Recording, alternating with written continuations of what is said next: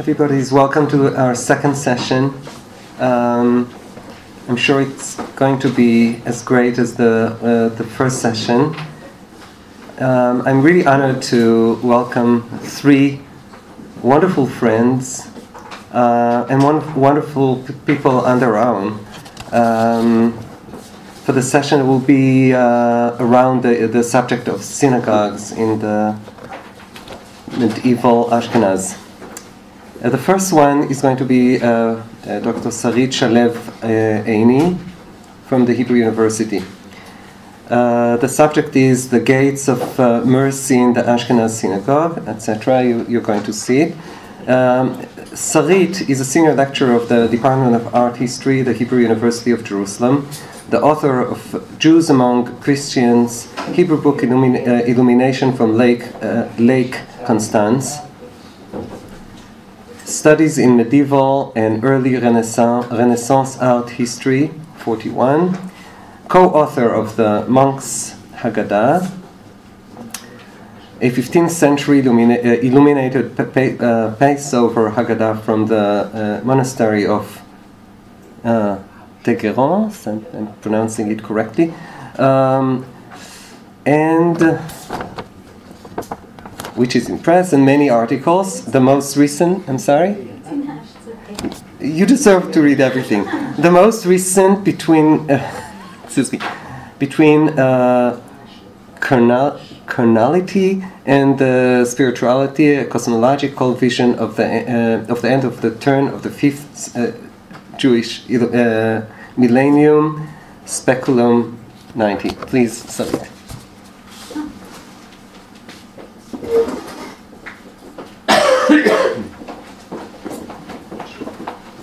Okay, preparations as usual. Just a moment.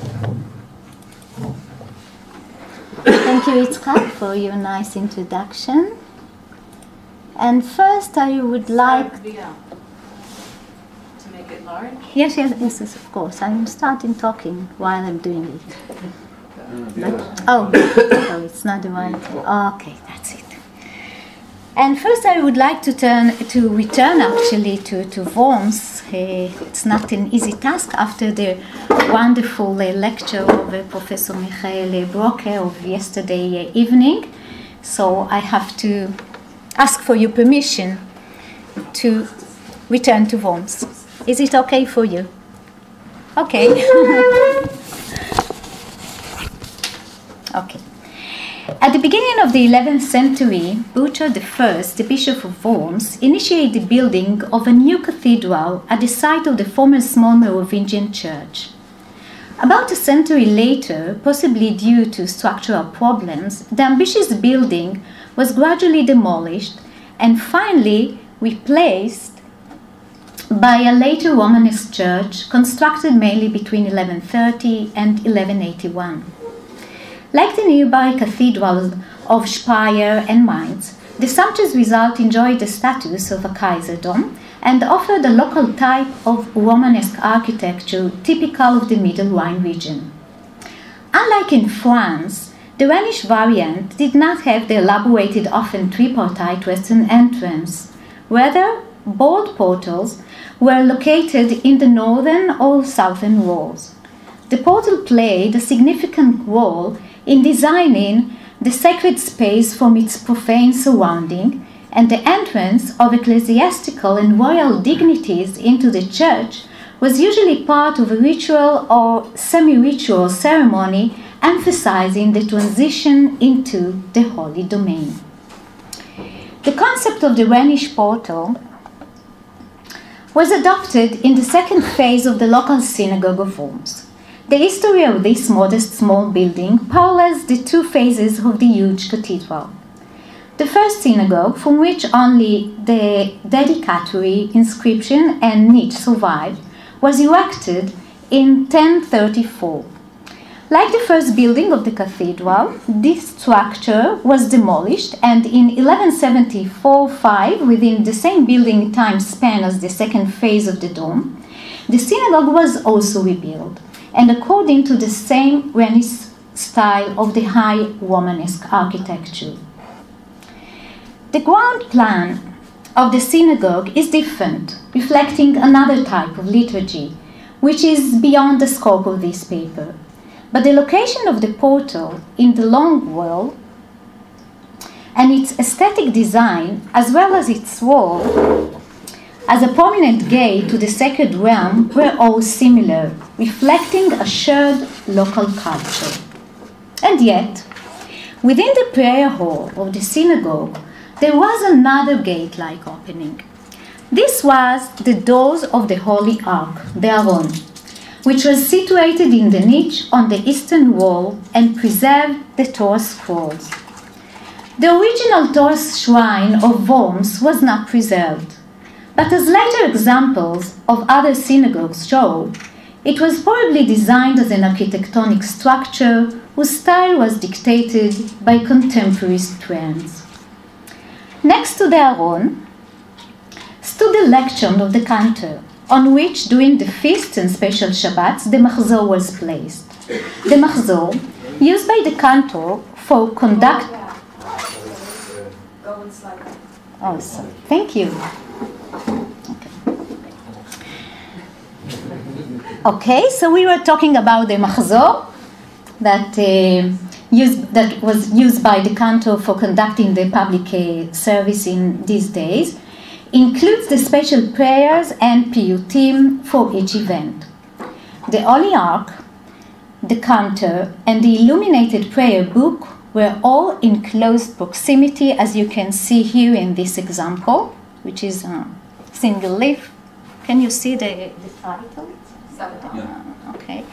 So it is a single leaf of Machzor of the Upper Rhine region of around uh, 1300.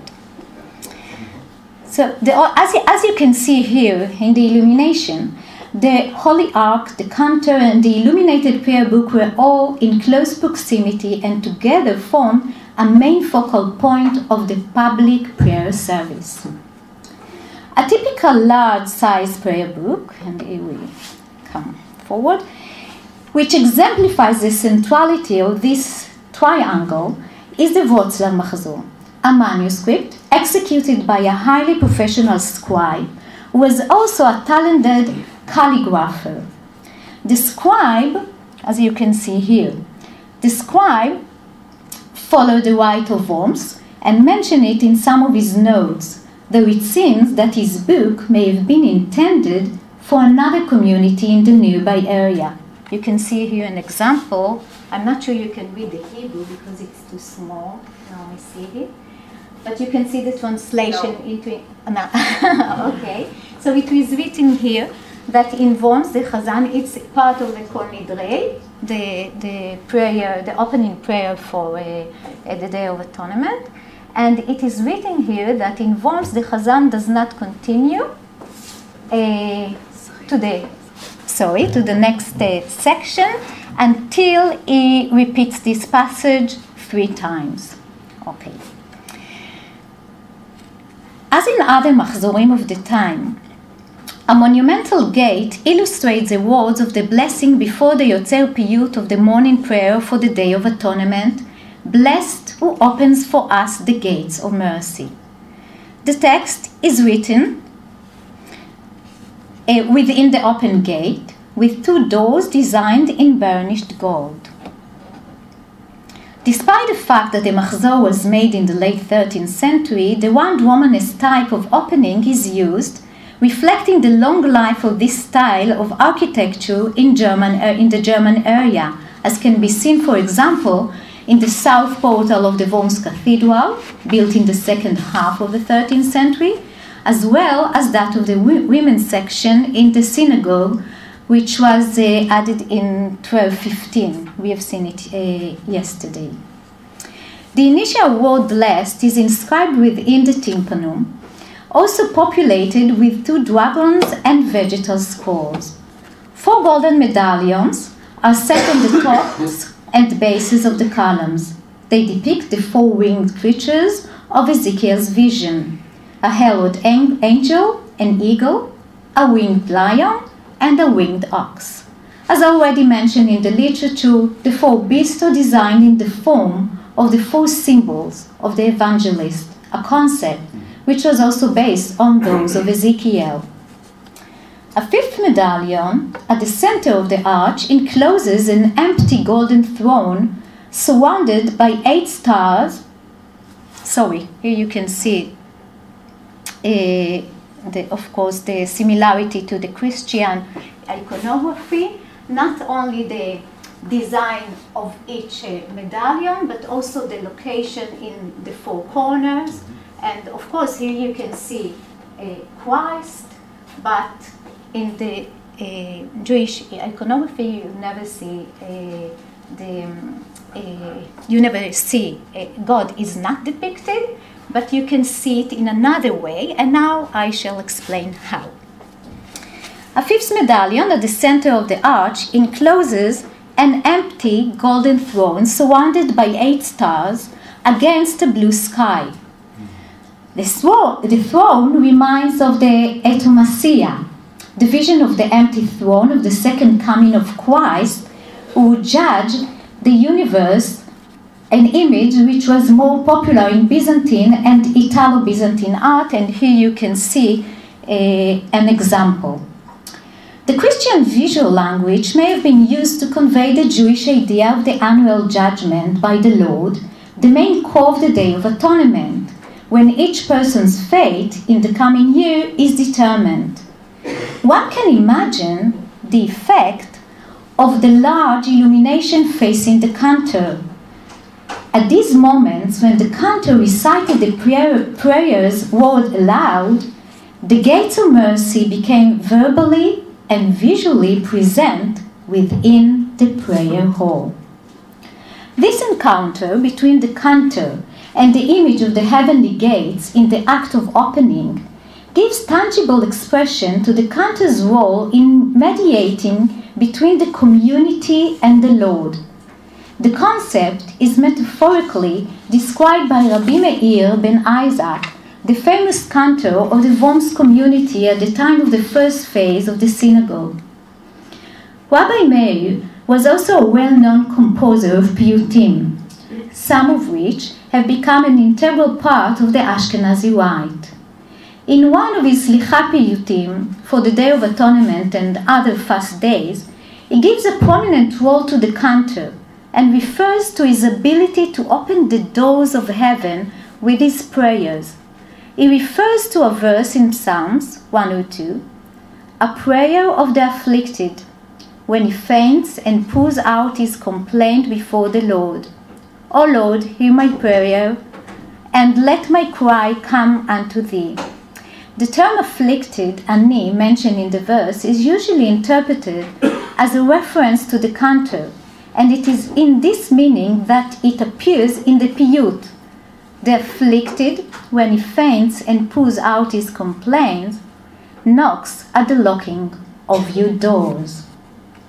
In medieval Ashkenaz, the rising of the cantor's prayers to the gates of heaven was not only a literary metaphor reflecting the spiritual level of the cantor, it was also thoroughly related to his actual position mm. next to the Aron in the prayer hall. The Aron, the Holy Ark, containing the Torah scrolls, was empower, empowered with divine holiness. This notion was especially developed in some of the writings of the Pietists.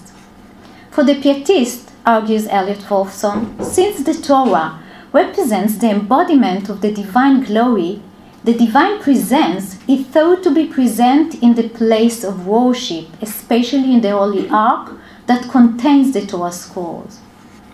In his commentary on the liturgy, Elazar of Worms explains the actual meaning of this holiness in the context of the Kaddish, in which the name of God is sanctified. The cantor goes before the ark, should place his life in his hand, and pray with all the intentions of his heart. And when he says Yitgadal, he should cast his eyes to the holy ark, for the Shekhinah rests in it. Such ideas were rooted in previous concepts which are not necessarily of Pietist origins, such as the one ascribed by Rabbi Elazar, to Chizkiah, the brother of Rabbi Eliezer ben Natan of Mainz, one of the more influential figures of the 12th century. This concept clarifies that one bows down before the Torah because the Shekhinah itself dwells upon the Torah and is thus located in the ark that contains the scrolls.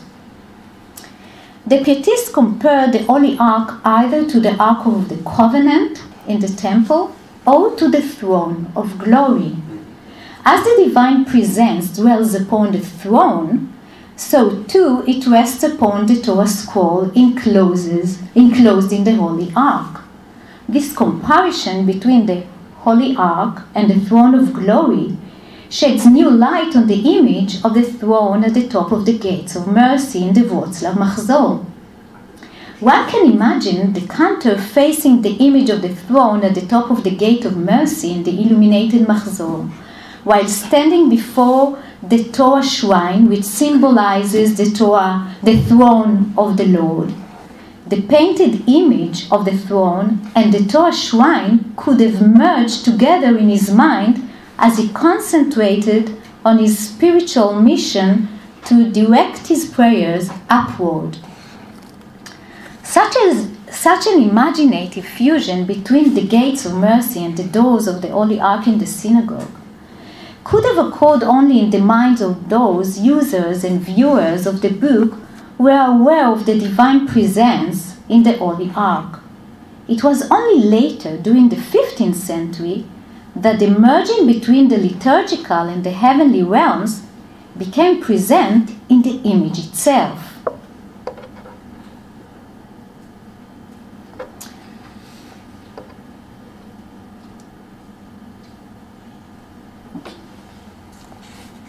A central example of this fusion is found in a two-volumed Machzor housed today in the Baal Staatsbibliothek in Munich.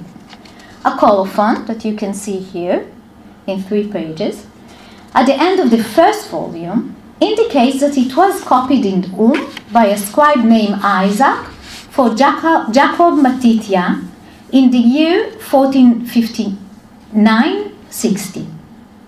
The patron was the son of Seligman, one of the most important figures in the Jewish community of Ulm at that time. One of the illuminators of this manuscript followed the tradition and illustrated the prayer, Blessed who opens for us the gates of mercy. Here, however, the heavenly gate is replaced by an open holy ark. The red curtain representing the parochet is drawn. Can you see the whole image? Okay. The red curtain representing the parochet is drawn and the two wooden doors are open, exposing three Torah scrolls wrapped in their mantles. Each of them stands on its two staves. Like in the Wroclaw Machzor, the shrine is designed as an architectonic gate with two towers, though the late Gothic style of the pointed curving arch points to its later date. You can see how different it is from the Romanesque round arch, but also from the earlier Gothic arch, the regular one that I suppose all of you know. Here, there is a special affinity to the late Gothic arch of the mid 15th century Torah ark of the Synagogue of Nuremberg, on which the words crown of the Torah are inscribed. According to Krautheimer, sometime after, after the expulsion of the Jews from the city in 1499, the stone, which in its original location formed the upper part of the ark, was inserted in the wall of, the, of a house in Wunderburggasse 8, together with an inscription and explained its origin. You can see here the, uh, the inscription. The result is unequivocal. The heavenly, heavenly gates of mercy in the Munich Machzor are the holy ark within the synagogue. The ark's open doors reveal the divine presence, the Shekhinah, in the form of the Torah scrolls. Such a clear parallel between the heavenly presence and the liturgical domain is further stressed in light of an earlier passage of Sefer Hasidim. The one who leads the public prayer should intend in his heart as if the Shekhinah in heaven corresponds to the Holy Ark. Therefore, the congregation should say, Exalt the Lord our God, and bow down to his footstool. For the Torah is his footstool, and the two staves in the, in the Torah scrolls correspond to his legs are like marble pillars. Which is a verse, of course. Both the Wroclaw and the Munich Machzorim give a visual meaning to the gates of uh, mercy. Both use the general architectonic language of their time, which is also reflected in the synagogue and its inner space, and yet the visual language of the two is also different. While the earlier example uses Christian symbols adjusted to the new Jewish context, the later example implies a purely Jewish iconography. Moreover, while the earlier Wroclaw uses extra symbolic images to visualize the divine presence, the throne of glory and the four beasts, the Munich example refers directly to the ritual domain in which the service took place. This visual shift between the late 13th and second half of the 15th centuries is paralleled in other examples that take us out of the public ritual domain and into the private sphere. A visualization of the heavenly gates is seen in the illustration to the verse in Psalm uh, 11 8 20. This is the gate of the Lord, the righteous shall enter into it. Can you see the, the lower part of the image? In the bird's head Agada that you've already seen today, uh, which is of around 1300, this verse, which is part of the Hallel recited on the eve of Passover during the Seder ceremony, is accompanied by an illustration of a three story building identified as the Garden of Eden, Gan Eden. The gates of Gan Eden, in its various sections, are described in detail in medieval Midrashic literature. The identification of the gates of, for the Lord as the entrance to the heavenly garden of Eden also finds a textual parallel in midrashic sources for this verse, such as Bereshit Rabbati. In the future to come, the righteous will be in Gan Eden, as it is written, This is the gate for the Lord, the righteous shall enter into it. As in the case of the Wroclaw Machzor around the same time, the Christian visual language plays a central role in designing the Ashkenazi concept. Heaven, as an architectonic construction, appears in Christian representations of the Last Judgment opposite hell. In this representation, the righteous people step in line, one after the other, towards the gate, at which, similar to the depiction in the Agada illumination, an angel welcomes them. You can see here the angel and the angel of the Haggadah and the line of people who are about to enter to the promised land. Moving forward to the late 15th, early 16th century Florsheim Agada, we face again a radical change in the design of the gate of the Lord. The structure of Gan Eden has been replaced here by the open Holy Ark, exposing two Torah scrolls an inscription in tiny letter reads, This is the gate. This identification is also rooted in written sources, such as the commentary on Rashi on the same eh, of Rashi on the same verse. The gates for the Lord, those gates of synagogues that are for the Lord, and the righteous shall enter into them. It was, however, only in the 15th century that these ideas were given direct artistic expression in Hebrew illumination when the visual language developed an independent repertoire that was based on the public ritual domain. One may wonder what meaning those images referring to the Holy Ark in the synagogue could have had when perceived outside the public domain. The designation of the Holy Ark containing the Torah scroll as the sacred as um, um, as the sacred nexus, sorry, for the ceremonial space awarded it the status of an axis around which the communal identity was built. The use of the vocabulary of the public ritual domain in images found in manuscripts, intended for use in the family ritual at home, blur the limits between the public and private domains and stress the affinity of the family to the larger community of which it was part. The gate regulated the access to the sacredness. A closed gate was a barrier, an open gate was an entrance to the divinity which was restricted to community members in and out the public ritual domain. Thank you.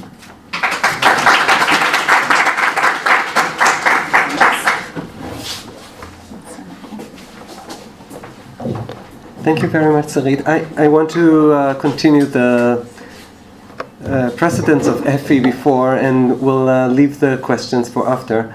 Um, I want to invite uh, a very good friend and colleague, Ephraim Shoham Steiner from Ben Gurion University. Uh, he didn't give us a, a long uh, list of uh, credentials, but uh, I'll read what I have. Um, the the title of his of his um, paper is "Lions, Snake, uh, Snakes, a Rabbi, and a Parnas."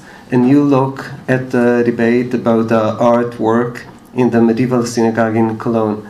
Uh, if I'm uh, the only one I can, the only book I can. Uh, um, uh, that, that I recognize that you wrote is the one on um, uh, how is it called? The On the margins of the minority. the marg- margins of minority. Thank you very much.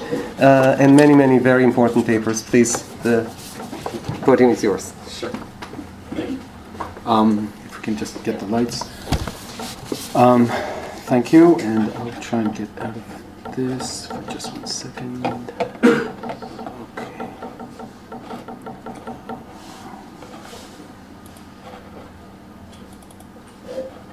Okay.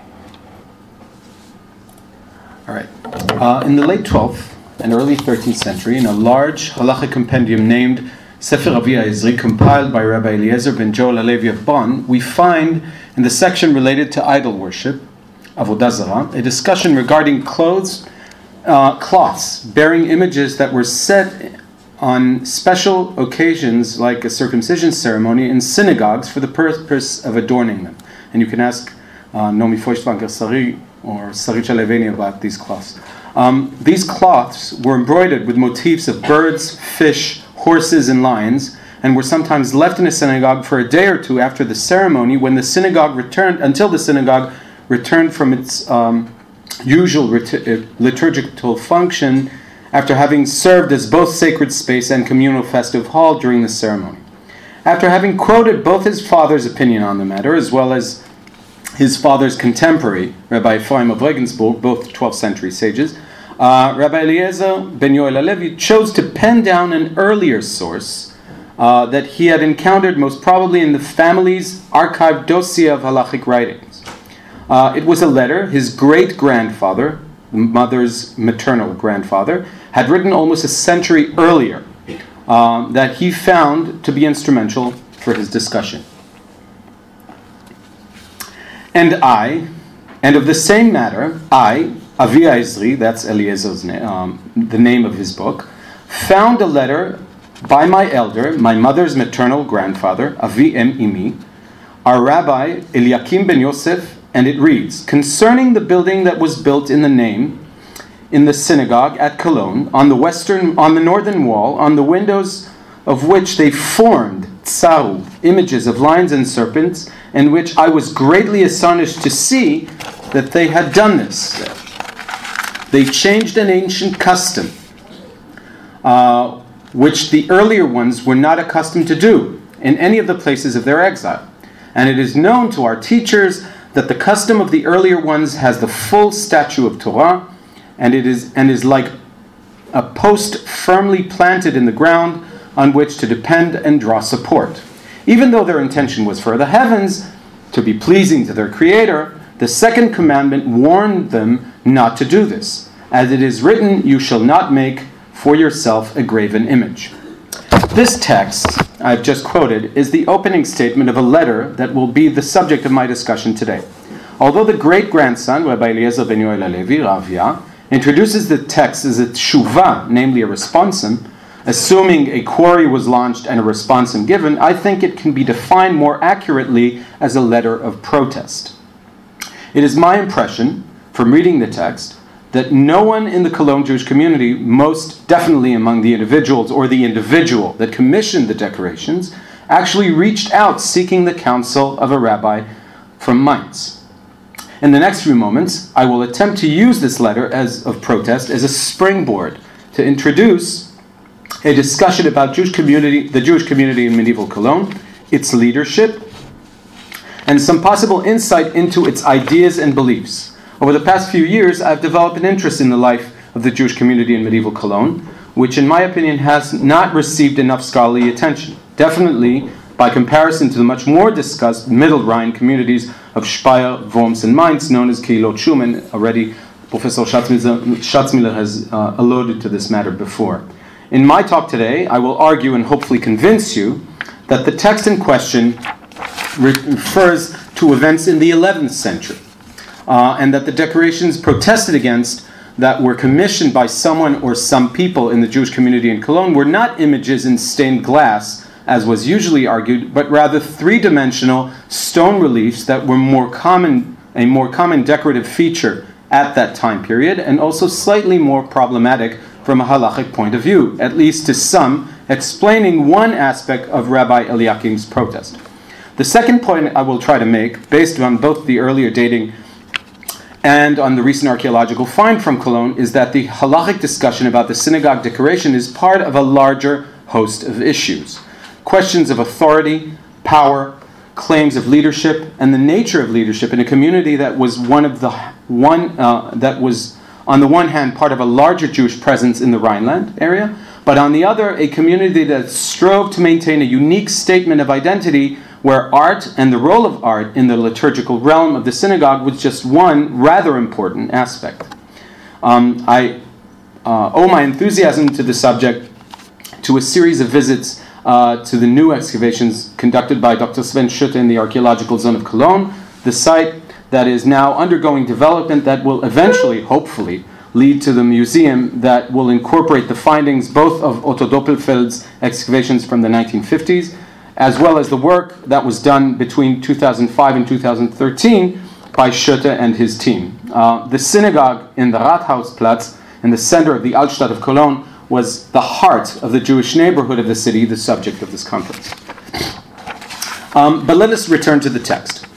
What was about the decorations that raised the heated reaction of Rabbi Eliakim of uh, Ben Yosef of Mainz? Before we delve into this question and ask also who commissioned the contested decorations, we should comment on the circumstances.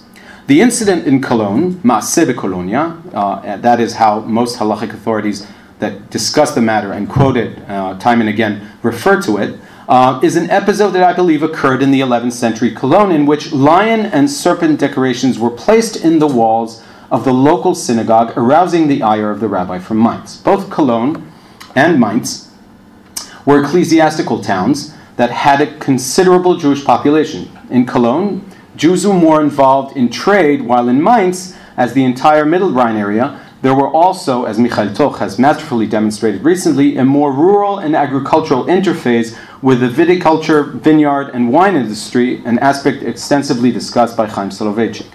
Alfred Haverkamp had argued that Cologne, Mainz, as well as other bishop cities, in Northern Europe were among the cities to reap the benefits of the political and demographic developments as well as the rise of commerce and as and local as well as super regional trade in the 11th century. By the time the incident we will uh, focus on occurred, the Jewish community in medieval Ashkenaz had already a relatively well established and visible presence in both the lower Rhine area, in and around Cologne, as well as in the middle Rhine region, in what eventually will become will be known as the Shum communities of Speyer, Worms, and Mainz. And if you want to know anything about the Takanot, here is the specialist, Dr. Rainer Barzen.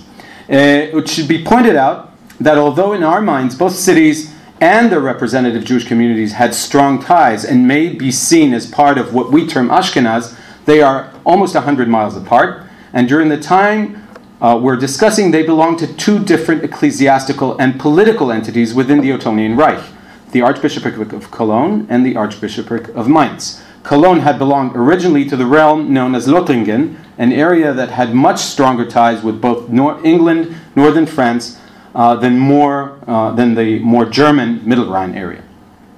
Our knowledge of these communities comes mainly, but not solely, from inner Jewish sources compiled and penned by the male rabbinic members of society who left behind an impressive paper trail in the form of biblical, Talmudic exegesis, Jewish court rulings preserved in halachic responsa literature, and a rather extensive body of liturgical poetry, piyut. We thus have more knowledge of the rabbinic figures from this time period who were more active in the Middle Rhine area of the Shum communities, gravitating around the Torah study centers of Mainz and Worms and later on Speyer. When it comes to lay members of society and even lay leadership, we are um, sometimes, uh, and people who are not rabbis, our knowledge is therefore much more limited. We know uh, both these communities had a kahal, uh, but we know very little about the figures in the kahal that were not learned men.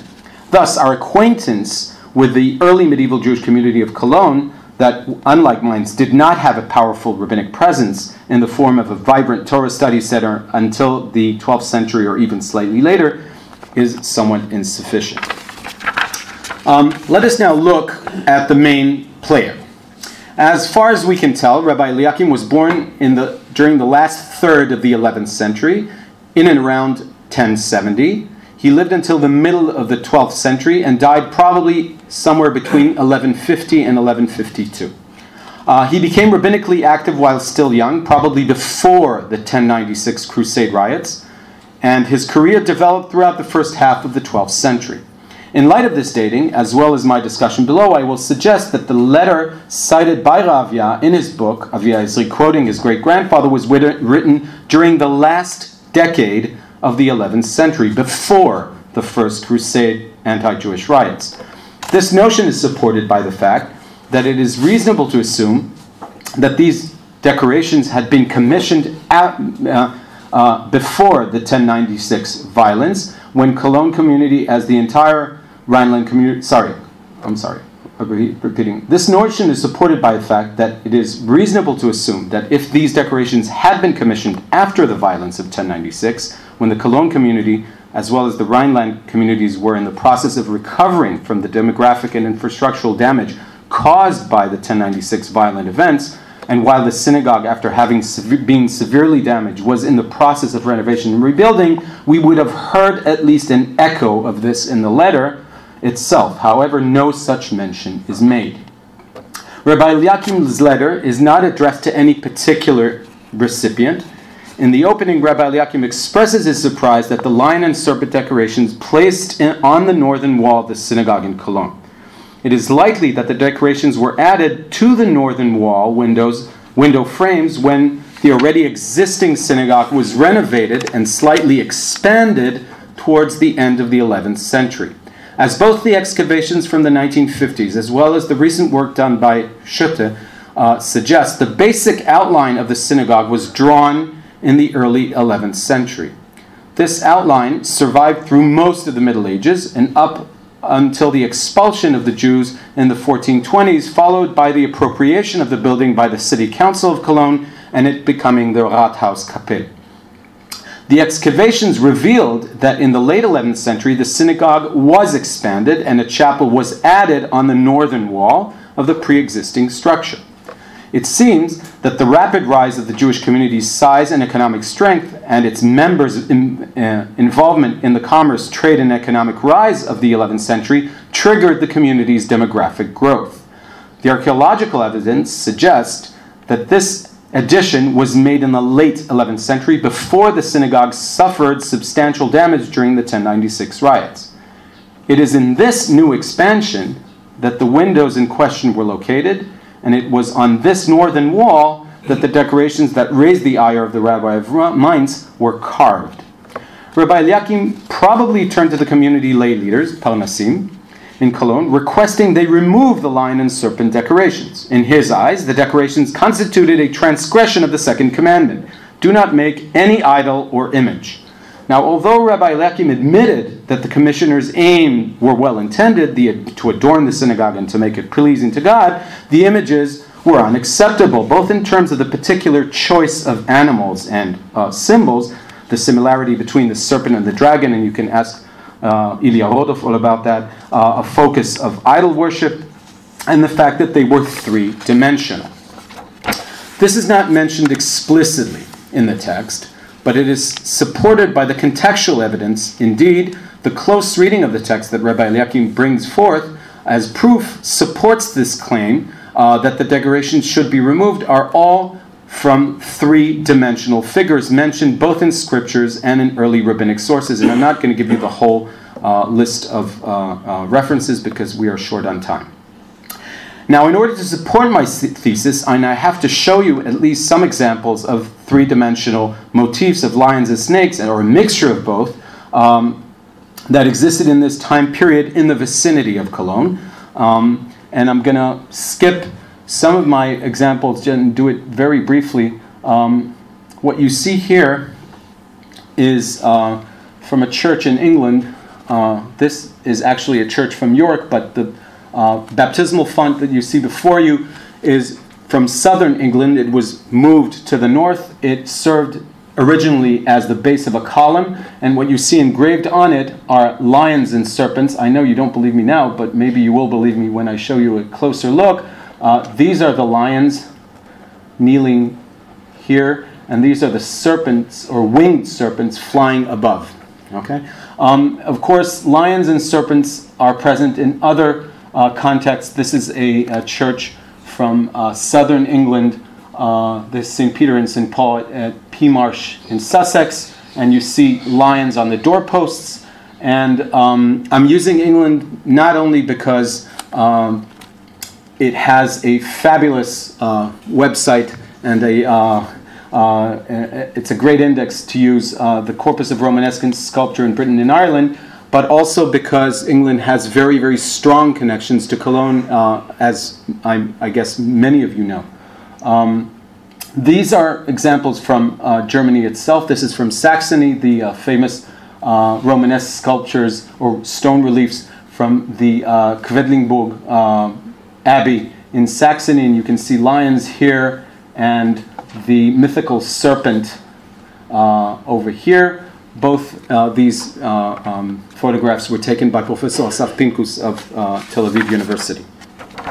Um, now, lion and serpent decorations uh, are the combination of both, are also present in Jewish structures uh, from this time period, and I refer you to uh, the famous Palais Justice, the, the um, basement of the Palais Justice, the famous Maison Sublime in Rouen, where on the bases of columns that were on the south side, uh, we can find both dragons and, or serpents and lions, and you can read all about them in Ars Judaica number one, a fabulous article by Ilya Rodov.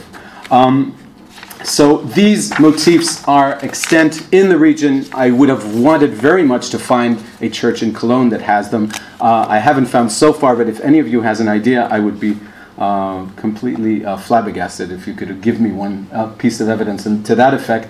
But I think it, uh, we can substantiate that this motif of stone reliefs of lions, snakes, or winged serpents is extant in the region. In light of the frequent presence of lions and serpents in stone artwork of the period, we can assume that stone reliefs similar to those found in Rouen, Quedlinburg, and the churches in England were used in the walls close to the window in the synagogue in Cologne as well and Rabbi Eliakim was troubled by the fact that these animal images were raised in relief from the wall, and by that, uh, by the particular use of the serpent, to him reminiscent of a dragon. Now, Rabbi Eliakim voiced two concerns. First of all, a Jew might actually make the fatal error and worship these images and thereby transgress the prohibition of idol worship. Second, at the minimum, others will think that Jews bowing in the direction are directing their prayers to the images, even if the worshippers themselves had no such intent. In an attempt to drive his point home toward the end of the letter, Rabbi Eliakim cites as a model for emulation the Judean righteous king Hezekiah, who crushed the brazen serpent fashioned by Moses uh, uh, and uh, to that he also is alluded by the rabbis as the uh, Mishnah Psachim 4.9 uh, records King Hezekiah did six things. Regarding three, the sages agreed with him, and one of those things is he's crushing the brazen serpents because people were wronging in their ideas about uh, worshiping it. Now, it should be noted that in all probability, Rabbi Eliakim's letter of protest was ignored uh, by the Cologne Jews. Actually, a close reading of the text may provide us with the claims made by the individuals that were behind the commissioning of the stone relief ornamentation, since Rabbi Eliakim goes into pains of rejecting them one by one. And uh, by the way, these are uh, closer images of the um, uh, Palais Justice, uh, Maison Sublime uh, images. I know they're not really good, but uh, this is the best I could get without being there on the spot. Um, so these are the claims that he tries to reject one by one. Um, one, their intention was for heavens uh, to be pleasing to their creator. This is what the people are saying in Cologne, and Rabbi Eliakim goes into pains in order to reject that. Um, do we not find kruvim and other images in the temple? And since it is permissible there, it should be permissible also in synagogues. I want to remind you, synagogues are diminished temples.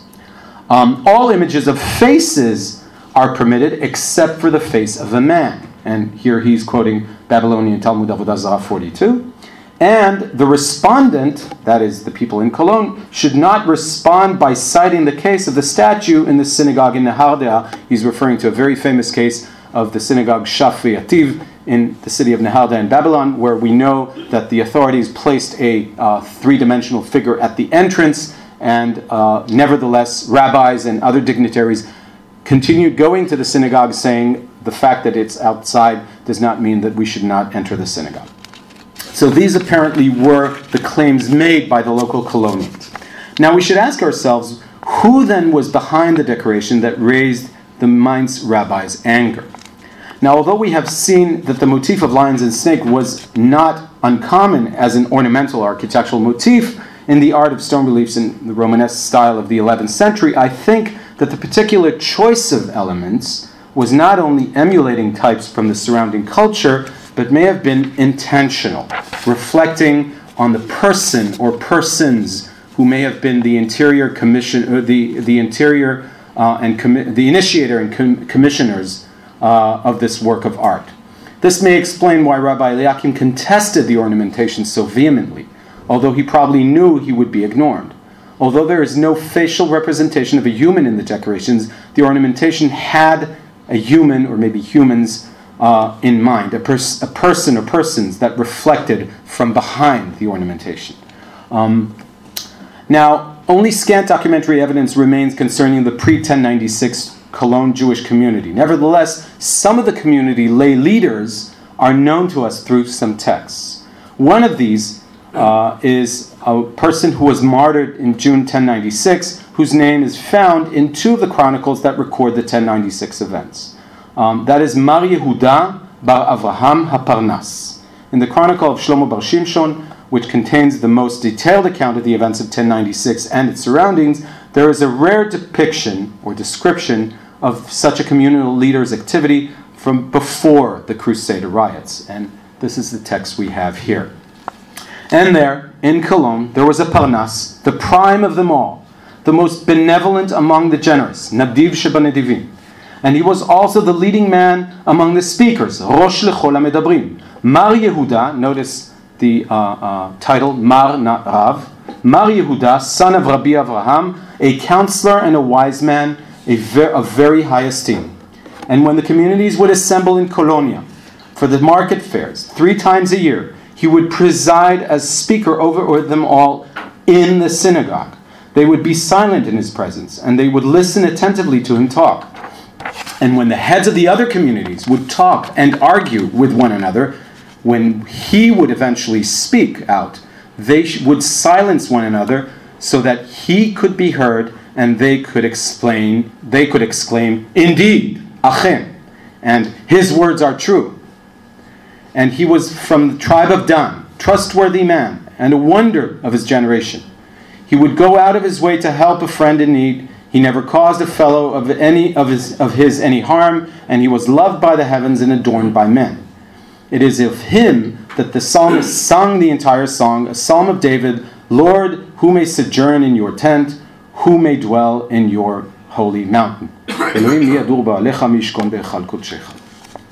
In this text, which can also be read as a lament or a eulogy for Mar Yehuda ben Avraham de Parnas, he is portrayed as a charismatic, generous leader, caring for his community, loved by God, and kind to all souls. At least in the eyes of the editor, Rabbi Shlomo Berab Shimshon, who either compiled the text himself or copied it from a earlier source, perhaps even a eulogy from 1096 itself, Judah ben Avram's leadership pretensions went beyond his own local community to the regional level.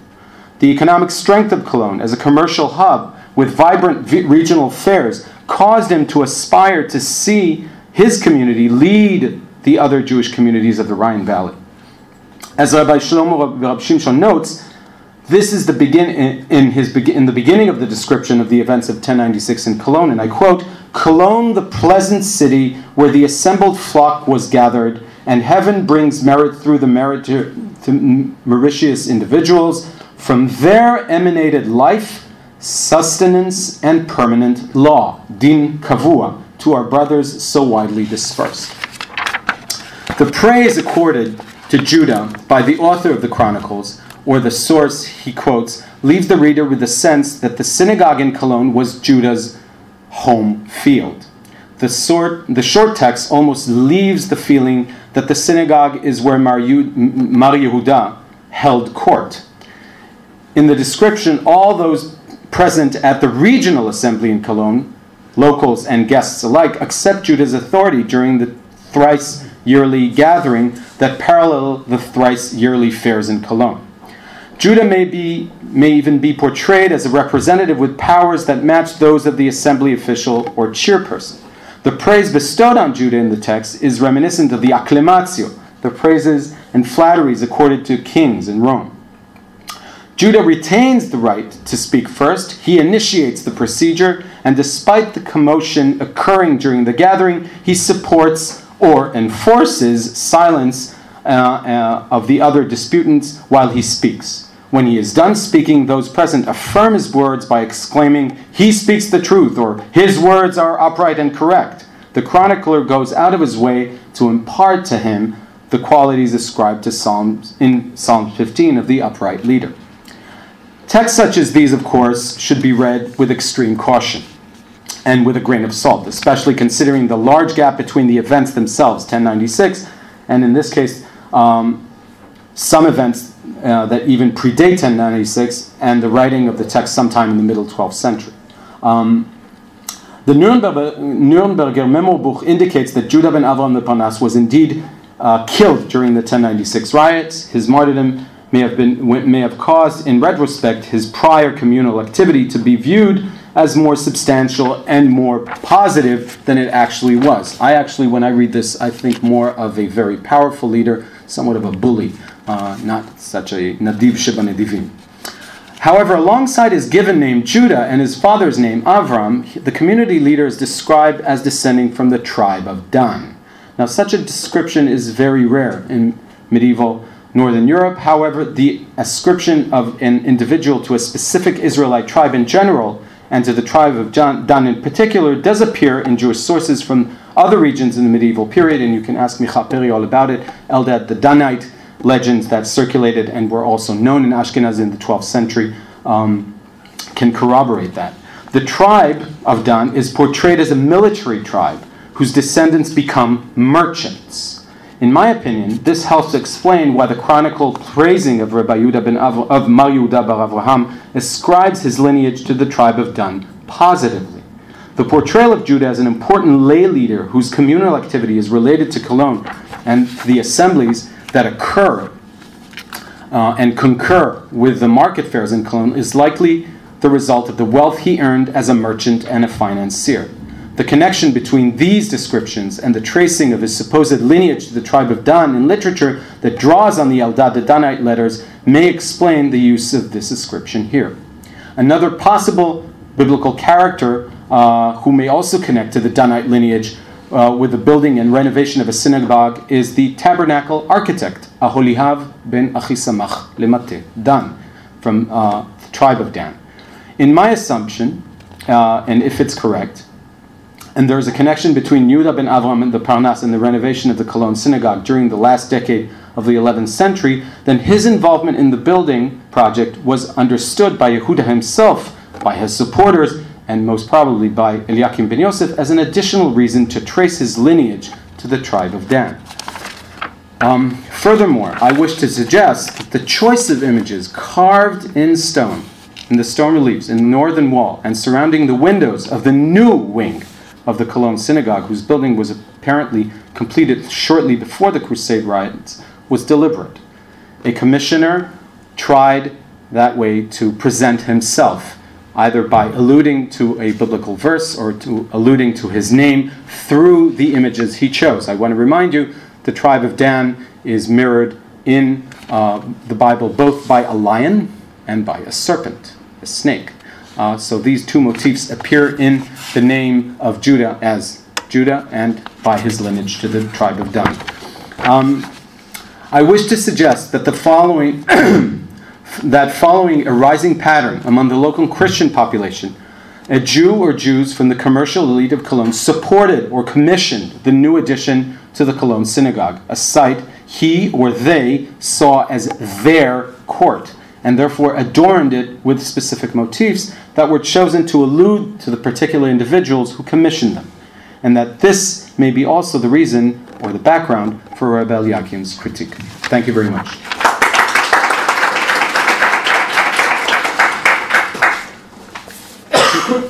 Thank you very much.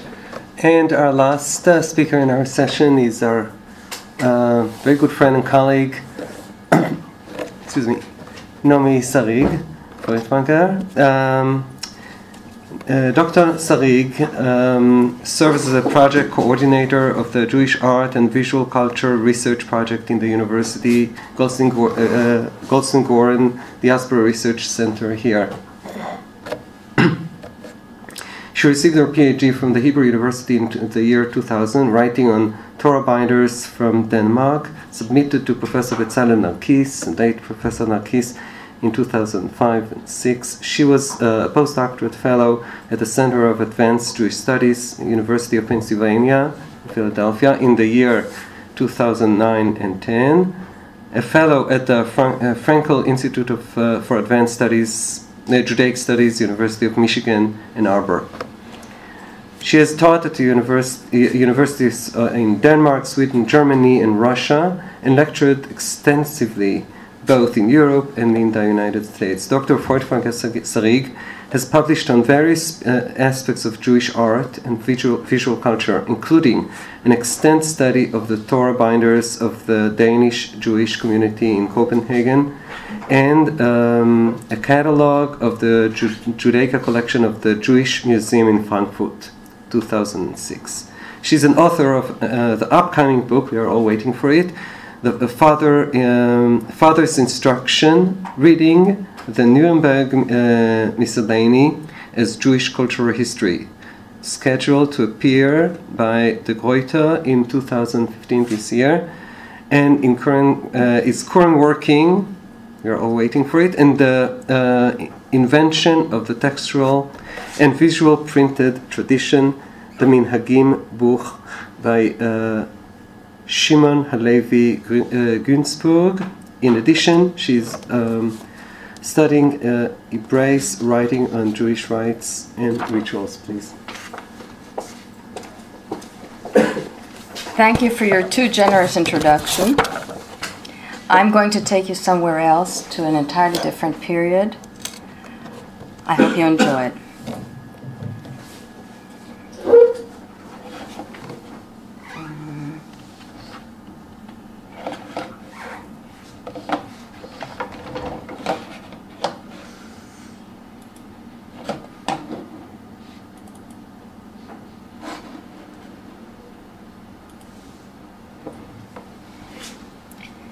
For a number year, of years in the early 18th century, the house on Domstrasse 14 in Greifswald had a full sized synagogue. It was equipped with a Torah scroll and all of its implements, the requisite furnishings, and prayer books. Surprisingly, all that it was missing was Jews to worship it in it. In fact, this is the only synagogue in history that was neither intended for Jewish worship nor was meant to even be visited by any Jew at all. At the time of its construction, not a single Jew is known to have lived in Greifswald, located on the northeastern tip of Germany. Rather, the synagogue served an educational objective with strong museological characteristics. Indeed, it was subsequently regarded as an exhibit in its own right, a Museum Judaicum, probably the first of its kind.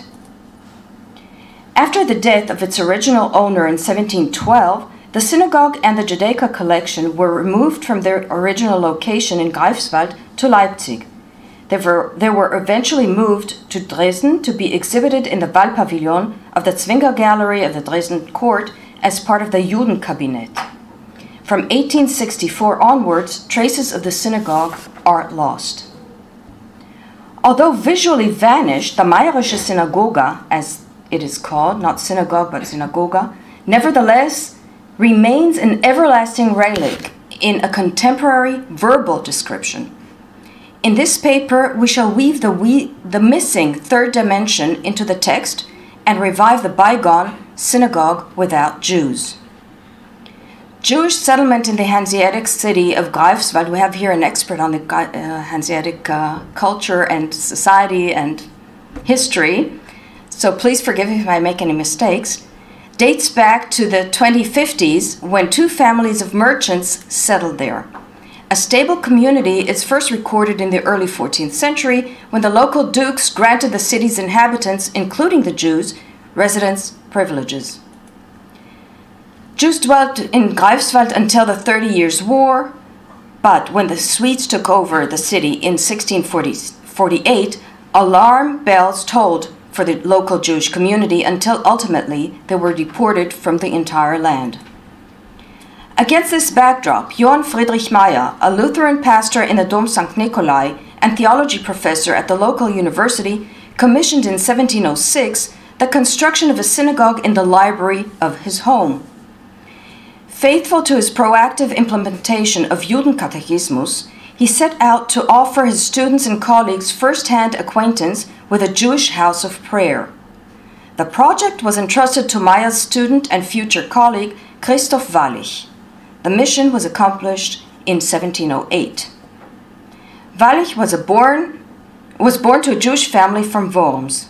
In his adulthood, he served as cantor in Frankfurt am Main and attests to have been mastered also the art of a scribe of virtual texts, Sofer.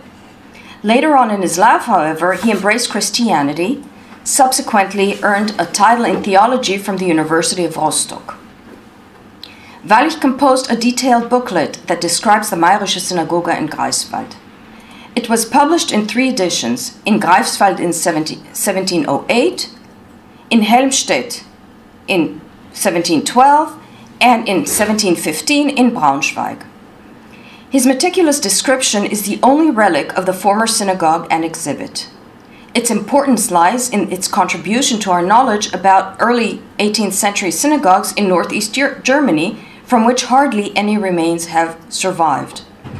We will therefore revive Wallich's verbal rendering by comparing it to information ex- extrapolated from descriptions by other humanists and Hebraists, rabbinic writings, as well as images of contemporary edifices, furnitures, furniture, and furnishings.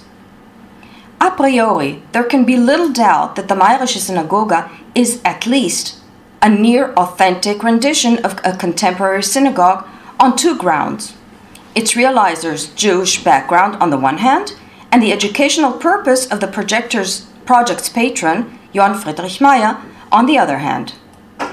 As stated already in the title page of the first edition were the words zum Nutzen der studierenden Jugend aufgerichtet. Reading almost like an entry to an exhibition catalog, Wallich's description begins with an introduction of the object and proceeds to place it in its ritual and ceremonial setting. With no opening phrases or further ado, he accompanies the visitor into the interior, as it were. At the entrance to the synagogue, he says, is a basin for the congregants' ritual hand washing. Accordingly, the inscription over the basin reads, Erchatz benikion kapai, I will wash my hands in innocence. He then explains the symbolic significance of corporeal purification, dedicating an entire passage to this issue. Proceeding to manner, matters of cleanliness and respect for the synagogue, Wallich mentions the existence of an iron bar by the door that serves for discarding the dirt before entering the prayer hall. He further states that such devices were used in the synagogues of Fürth, Worms, and Frankfurt, the latter two being synagogues that he personally knew. In this, he describes an old custom which was hardly documented by Christian authors on Jewish rights, but referred to already by Johannes Pfefferkorn in his book Ich heiß ein Buchlein der Judenpeicht, published in Cologne in 1508, who says, es haben es haben auch die Juden vor der Synagoge ein eingemauertes Eisen. Daran müssen sie die Schuhe räumen und säubern, ehe und sie in die Synagoge gehen. Later in 1714, the Protestant theologian and Orientalist Johann Jakob Schutt, who is considered to be the first ethnographer of Jewish rites, reports a similar iron bar at the entrance to the synagogue in Frankfurt. I search for synagogues that have it. Sorry. As a mundane object of no great import, the shoe scraper is not frequently mentioned in rabbinical texts despite its bearing on matters related to the observance of Shabbat. It is told, for example, that Maharil did not abstain from using the iron bar on the holy day as he was accustomed to do on weekdays. Evidence of the existence of such a device in most places, quote unquote, made either of iron or of wood, is found in a responsum by Maharam Mintz, who served as the rabbi in Mainz, Landau, Bamberg, and Posen in the 15th century. The custom is once again referred to in the 17th century by Rabbi David Halevi Segal, author of the Turei Zahav, who officiated mainly in Poland and Moravia. Wallich is therefore relating to an apparatus that, though commonly used, drew little attention in writing apart from debates concerning the proper manner of observing the Shabbat while maintaining a measure of aesthetics within the synagogue. And I'm indebted to my friend Yitzhak uh, Lifshitz for finding or helping me find those sources. Above the main entrance, Wallich continues, is the abbreviated inscription from Psalm 118:20, Zer shal Adonai yavovo. This is the gate of the Lord, the righteous shall enter into it. This passage was favored in Ashkenaz for synagogue portals as a reminder for the worshippers that they are about to enter a holy site. Mahal's synagogue was decorated with numerous inscriptions taken from the Bible, Mishnah, and Talmud, as well as moralistic texts and folk dictums. Some of them were a traditional part and parcel of synagogue decoration. One such example is the ornamentation above the Torah ark which comprises of three gilt crowns surmounted by a quotation from the Mishnah Avot 4.13, Keter Torah, Keter Kehunah, Keter Malchut, namely the crown of the Torah, the crown of the priesthood, and the crown of kingship. This motif can also be found in the Baroque Torah ark in the Synagogue of Worms, where above the Torah crown, the, the Torah crowns is another prominent one that symbolizes the crown of good name, Keter Shem Tov, mentioned in the Mishnaic text as well. I hope you can see it. I guess so. With the relevant inscriptions. The ark in the old synagogue of Krakow shows an abbreviated form of this motif, which includes only the crown of the Torah. Similarly, the ark in the Remuh synagogue in the Kazimierz near Krakow of around 1558 presents a crown painted in gold. Several other texts quoted by Wallich are known from other earlier Ashkenazi synagogue, synagogues. Some, for example, appear in the late 13th century Alt Neuschul in Prague. Above the left rose window, in the eastern wall, the abbreviated inscription Dalifne miata omed, know before whom you are standing, is featured. This midrashic dictate is a reminder for the cantor and the congregation to humbly direct their prayers to the Almighty. In Greifswald, reports Wallich, it is inscribed in the lower part of the Torah ark, ganz unten am Heiligen Kasten. Wallich further reports that in the Mayerische Synagogue, the inscription Shiviti Hashem lenegdi tamid, I've set the Lord always before me, from Psalm 16:8 is placed below the previous one. Counterbalancing the aforementioned writing in the Alt Neuschul is the abbreviated abbreviation Shilat, placed in, to the right of the ark, in accordance with the continuation of the verse. Surely he is at my right hand, I shall not be moved. An examination of the sources of most of the other texts that are adorned the Mayerische Synagogue shows that they were founded on Jewish folk literature and popular dictates. Contemporary synagogues in the German cultural realm only rarely showed inscriptions similar to those described and interpreted by Wallich. A search for comparative examples leads us to the synagogues in Eastern Europe, which were replete with rich walled paintings and plentifully interspersed with inscriptions. Among other texts, Wallich mentions three abbreviations that appeared in the Greifswald synagogue walls Samot, namely Sumerava Setov, Damesek, Da Mishehu or Damask, Mishehu Koncha, Atlas, Az Tov Yelecha Sela.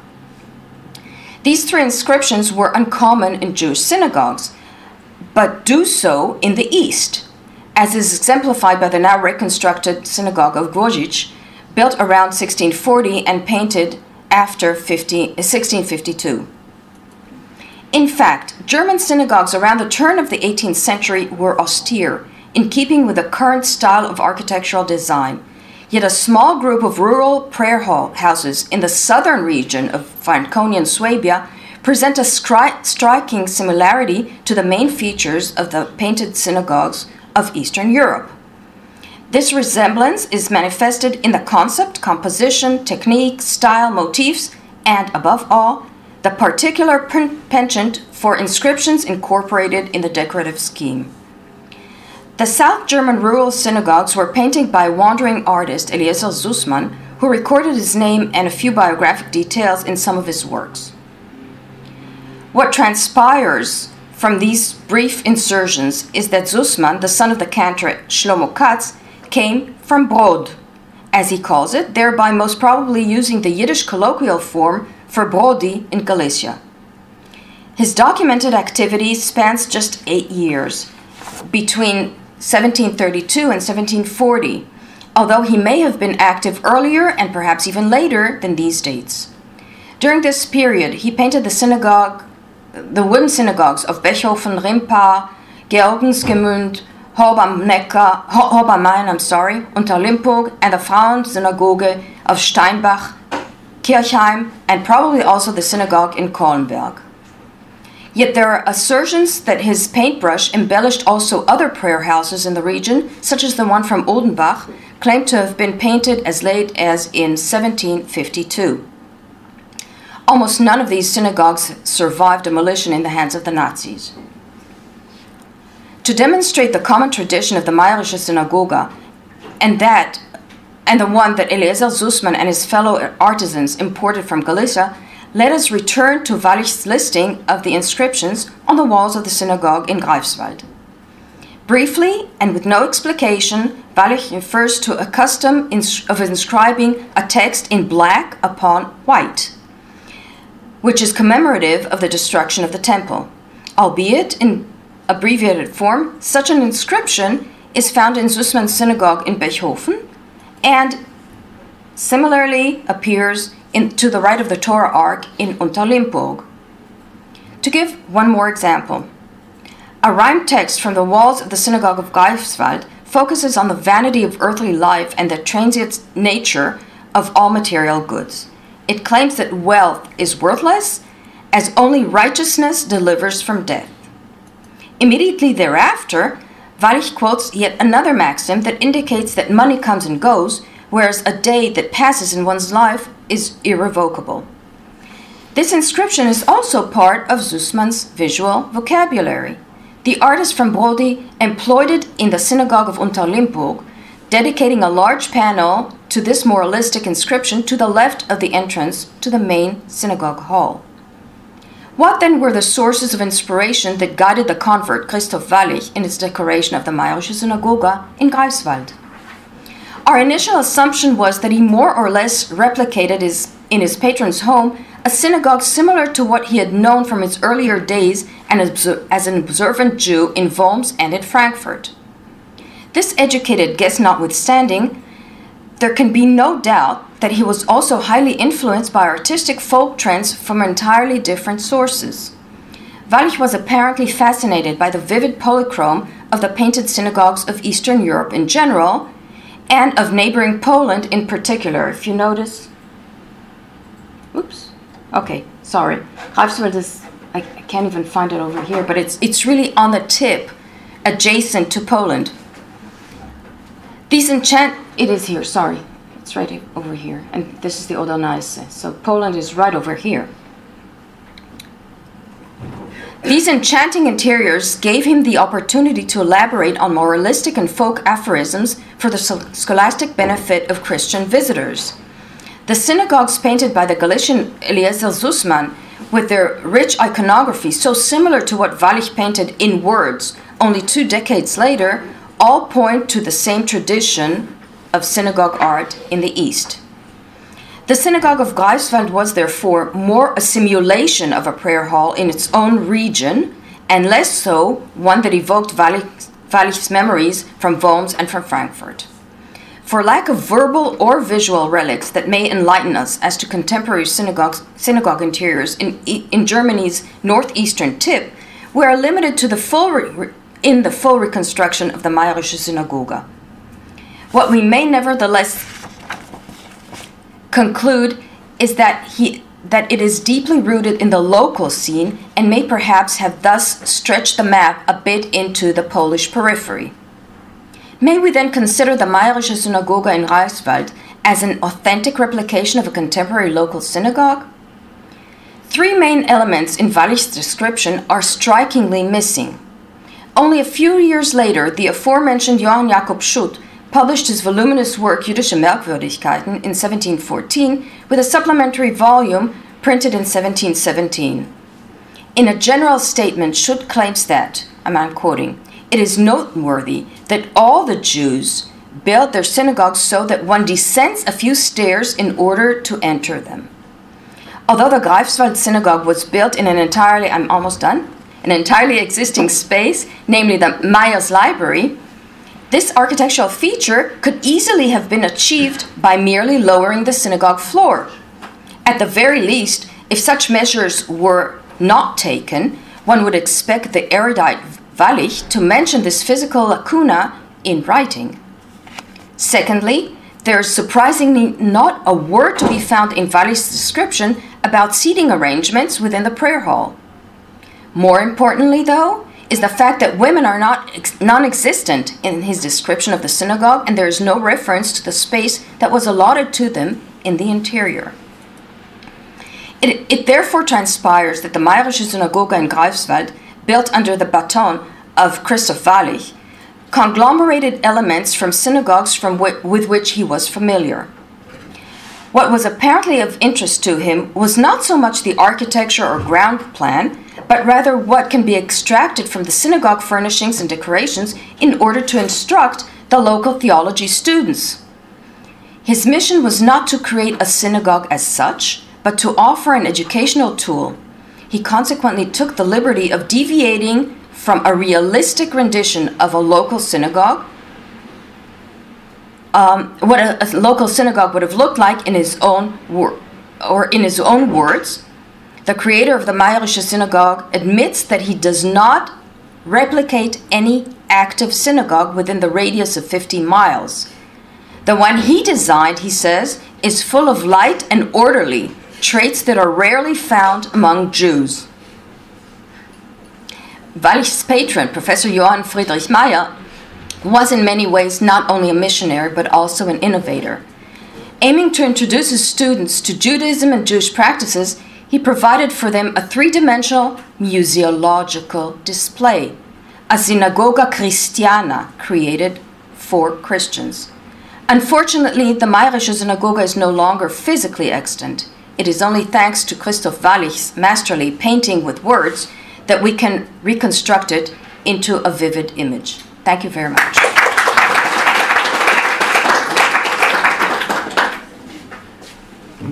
We only have uh, less than 10 minutes for questions and answers. Uh, please, um, Sarit and Effie.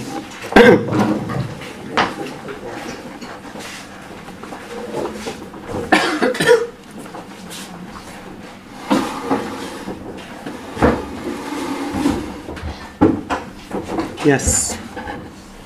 Any question? Please. Um, a short question to Effie.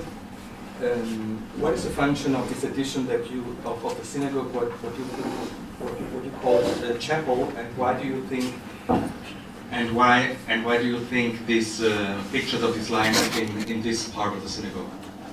Um, what we know from later from a later period, um, um, more specifically from the 13th century, is this is that this is eventually functions as the Frauenschule, um, the, the women's section of, this, of the synagogue. But um, uh, I think very um, reminiscent of what we have from other synagogues in Europe, and um, what I'm thinking of especially is the Altneue Schule in Prague, uh, when synagogues of this nature were expanded, walls were not, not knocked down, but additions were added, and sometimes on a piecemeal kind of uh, addition. In other words, um, you would have the rectangle, the rectangular shape, and, li- and little by little, smaller chapels were added alongside the walls, eventually either functioning as Frauenschule, or if the community really um, uh, uh, morphed in size, uh, this, uh, the, uh, the walls were knocked down. Um, uh, another example I have in mind is Speyer, I think, that has a similar kind of um, architecture. So, um, but I think that for the 11th century, which is, in my humble opinion, the, the dating of this uh, extension, I think that this may have served maybe as a kind of addition to the synagogue that for prayer functioned as additional space for prayer, but when the synagogue was used for other purposes, uh, like the communal gathering that is described in the uh, in the uh, chronicles, it may have been the site. I, I wouldn't want to say where um, where uh, where The ben Avram is is uh, situated or enthroned, but it's um, it's it's part of the assembly hall. Micha, please. A question for uh, Sarit. I loved your uh, presentation, especially the way you look at the manuscript through the eye of the user.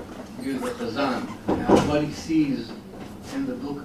And I was wondering whether you have another example where um, imagery serves as sort of a contemplative um, tool for mystical. We know that from Christian manuscripts, that people use it as a guide for uh, for uh, contemplative uh, rites. An example.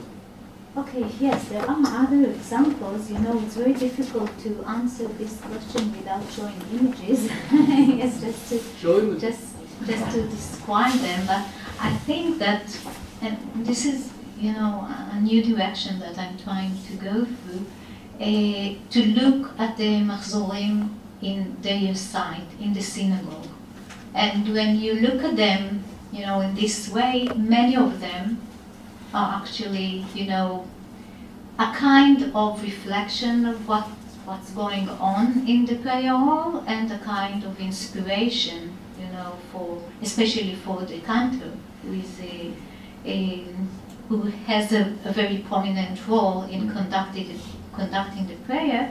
And I think that the, especially you see it when you look, you know, what I call the, the triangle because the proximity of them and you know of their own and Chazan and and it's something and I think that you know thi- this triangle uh, which combining all the you know the, the holiest place in the in the synagogue with the canto and the book has got a potential to to affect the the Chazan and maybe other uh, people in the synagogue, and I, did, I think that this is a very important question.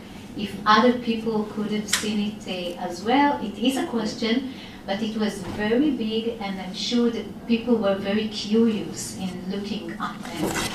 So maybe even if they didn't see it, you know, in a regular uh, basis, they they did in a way But and I think that you know the the, the, the adventure of praying with such big prayer groups uh, has got a potential. But on the other hand, and I have to add it, not all of the images had uh, this, uh, the, the, this effect.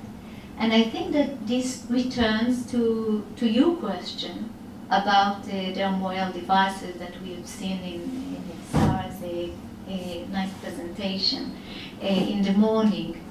Uh, some of the, of the images in the Machzorim could have distracted the, the, the Chazan if we, if we see it from this, this angle. So the, there are other aspects as well. This is only one aspect, but it is a very interesting aspect, and I think it can, it can be detected in many images of the Machzor, but certainly not all of them. So the, the complexity of the illuminated manuscript is something which is very interesting. Then we don't have to look at it, you know, as a general phenomenon, but as something combining different uh, aspects. Um, please, Professor Shatzmiller. It's for a Friday, it's just information.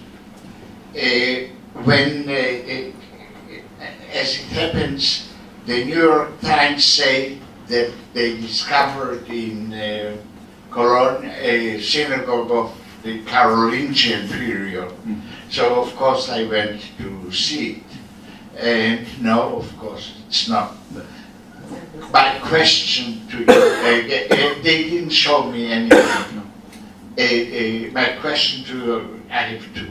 First of all, is the city hall the old synagogue or this synagogue? I mean, you know, no, the contour. There. The con. No, it's not. No, no, no. The, Secondly, did they, in the meantime, uh, you know, the synagogue was uh, covered. They didn't show it to anybody. Right. They didn't show it to you. Yes. Yes.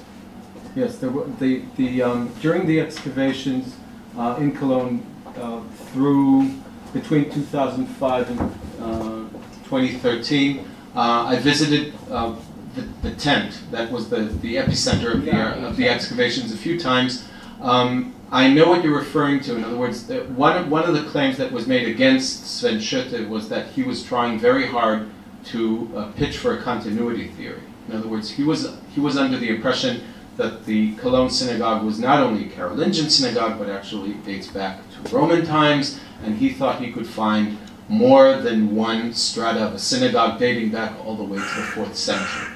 Um, I think he couldn't facilitate that, and I think that he, his theory about the continuity of the Jewish community in Cologne is probably cannot be facilitated. Nevertheless, um, we have positive data, uh, both archaeological and documentary, of the existence of this synagogue. In other words, the contour of uh, the synagogue that was found in the excavations from the early 11th century early 11th century, 1021. Um, it, it, it, this is what, what, what, what Aronius refers to in his, uh, in his sources, and I think that can be facilitated pretty, uh, uh, pretty nicely.